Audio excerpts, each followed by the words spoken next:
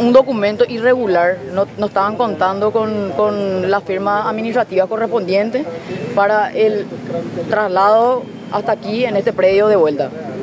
Eso fue el inconveniente que a mí me, me saltó, ¿verdad? Entonces yo como seguridad me fui solamente para que justamente la aglomeración, porque la solución van a tener la parte administrativa. ¿Se llegó a eh, enterrar el cuerpo? ¿Cómo? Sí, ya entró, ingresó y ahora se salió otra vez. ¿Se suele dar este tipo de hechos? o es algo- Y es algo que prefiero eh, en silenciar, ¿verdad? Porque hay casos que sí, hay casos que no, hay casos que de repente no hay necesidad, no hay nadie que quiere verle después de muerto, qué sé yo, e- X cuando uno ya va tipo al culmino, hacen todos sus rituales, incluso nos quedamos de más en horas extras, ¿verdad? Porque el predio se cierra a las 5 de la tarde y no podemos quedar mucho más para respetar justamente el dolor de la gente. Una sola Por cosa. favor, vamos a respetar. El ministerio va a dar una comunicación oficial.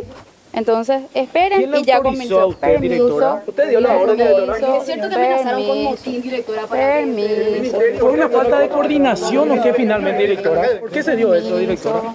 Recibió una amenaza puntualmente, eso es verdad. Es cierto que se negoció con la reclusa directora para que no armen ¿Por qué Carmen Villalba estaba en la- casi en la vereda del Buen Pastor? Ella es una el reclusa de máxima seguridad. Permiso, por Dios, permiso. El abogado Salvador Ocampo inicié los trámites eh, en, el, en, el- en la Recoleta para el sepelio, ¿verdad? No tuvimos ningún inconveniente con los funcionarios municipales, trajimos los, los requisitos que nos exigen la ley, que nos pide la ley, que nos pide la municipalidad. Y luego ya venía el, el- coche fúnebre con el cuerpo, cuando la directora del Buen Pastor me, me- me hace decir que podíamos meter el cuerpo acá para que Carmen se despida de su hermano, como es un derecho que tiene Carmen, eh, para...